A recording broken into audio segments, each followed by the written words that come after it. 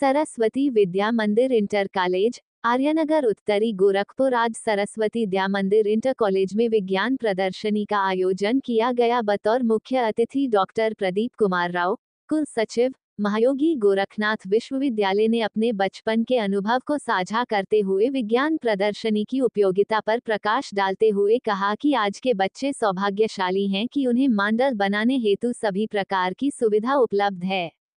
अपने बचपन को याद करते हुए कहा कि किशोर मन में नई चीज़ों को बनाने की जिज्ञासा रहती थी, जिससे घर में उपलब्ध सामग्री से कोई नया प्रदर्शन करते रहते थे, जिसमें पकड़े जाने पर पिटाई भी होती थी। आप लोग सौभाग्यशाली हैं कि आपको माता पिता का सहयोग गुरुजनों का सहयोग एवं विद्यालय परिवार का सहयोग मिल रहा है, जिससे आप हर स्तर पर अपने प्रदर्शन को अच्छे से अच्छा कर सके, ताकि अपने साथ साथ समाज और राष्ट्र को भी एक नई दिशा प्रदान कर सके। कार्यक्रम की अध्यक्षता कर रहे विद्यालय के मंत्री सुरेंद्र अग्रवाल ने कहा कि स्टार्टअप प्रोग्राम न केवल विज्ञान के क्षेत्र में, बल्कि कृषि क्षेत्र में भी होना चाहिए, जिससे देश के समय विकास में अपना योगदान दे सकें। कार्यक्रम के विशिष्ट अतिथि विज्ञान भारती के प्रांतीय अध्यक्षा डॉक्टर योगेंद्र पाल कोहली ने बताया कि यहाँ के बच्चे राष्ट्रीय स्तर पर भी अपने माइल का प्रदर्शन किए हैं। उन्होंने बच्चों को विज्ञान के क्षेत्र में आगे बढ़ने के लिए जो भी आवश्यकता होगी उसे पूरा करने के लिए आश्वासन भी दिया। संस्थान प्रमुख शिवजी सिंह ने कार्यक्रम में आए हुए सभी अतिथियों का आभार ज्ञापन किया तथा बच्चों के प्रदर्शन के देखते हुए उनके उज्जवल भविष्य की कामना की। कार्यक्रम का संचालन विद्यालय के प्रधानाचार्य विष्णु प्रताप सिंह ने किया। उन्होंने बताया की यह नौवा विज्ञान प्रदर्शनी है।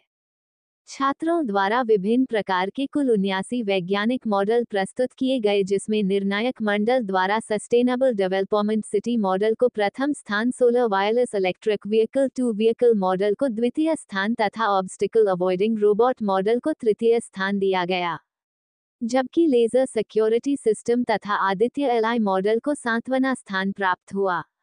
इस अवसर पर विद्यालय के आचार्य अरविंद कुमार राय, विजय कुमार, उमेश राय द्वीप नारायण यादव राजकिशोर सिंह, आशीर्वाद गुप्ता, डॉक्टर वीरेंद्र तिवारी, सरोज राय, सीमा गुप्ता, विपिन बिहारी सिंह सहद्र गुप्ता, आदित्य पाडेग एवं भारी संख्या में छात्र एवं अभिभावक उपस्थित रहे।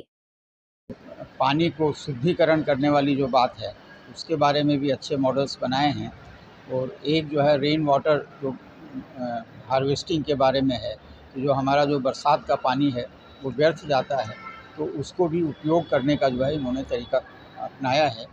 तो हम समझते हैं कि बच्चों की जो सोचने की क्षमता है, वो बहुत अच्छी मतलब वो हुई है, और इस तरह का जो है ये आयोजन हमेशा होता रहना चाहिए और हर विद्यालय में होना चाहिए, जिससे कि क्योंकि यही बच्चे आगे जा कर के हमारे बड़े वैज्ञानिक बन रहे हैं।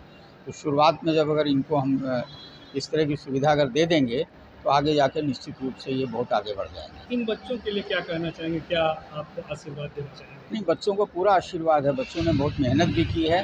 और पिछले मेरे ख्याल से चार साल में चार महीने से जो है ये मेहनत कर रहे हैं। तो बच्चों को पूरा आशीर्वाद है और हम तो ये चाहेंगे कि भविष्य में जो है देश के लिए कुछ आगे और कर सकें क्योंकि आज नए नए वो हो रहा अंतरिक्ष में लोग जा रहे हैं।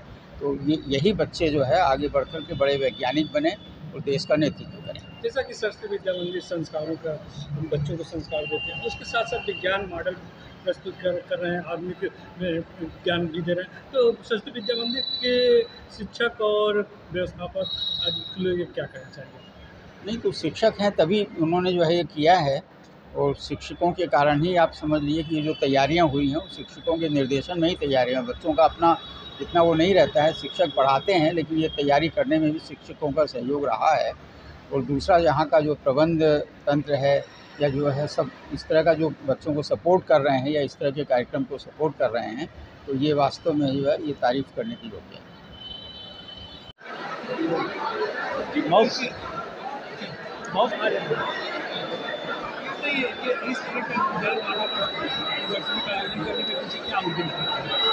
बच्चों को किताबी ज्ञान के अलावा कुछ उनको रचनात्मक ज्ञान भी देना चाहिए, जो करके कुछ कुछ स्वयं से करके कुछ प्रदर्शन कर सके।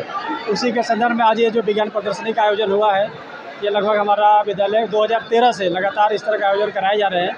ये नौवा आयोजन है, जिसमें बच्चे अपने स्तर से इस तरह का मॉडल बनाए हैं। अपने विवेक से, अपने बुद्धि से इसका चयन किया इन्होंने। लगभग दो से ढाई महीने का समय इनको दिया गया है। आज ये मॉडल आपके सामने प्रस्तुत है। इन वैज्ञानिकों के लिए क्या कहना चाहेंगे? बहुत अच्छा मॉडल आज देख के लग रहा है कि निश्चित रूप से ये देश के लिए आगे चल के देश सेवा में जब जाएँगे तो इसी मॉडल जो आज उन्होंने जो अपने मन में इन्होंने जो साकार रूप लिया है इसको आगे चल के इसको साकार करेंगे और देश की सेवा में लगाएँगे।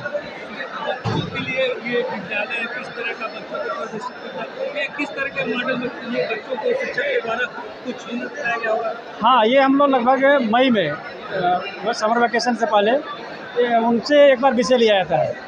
और फिर उस पर उनके क्लास सब्जेक्ट टीचर साइंस के मैथ के लगते हैं। उसमें क्या उनको बनाना चाहिए, कैसे बनाना चाहिए, क्या उसमें उनको समस्या आ रही है, उसको दूर करना। और लगातार दो से ढाई महीने संपर्क में रहकर इनका मॉडल तैयार कराया जाता है।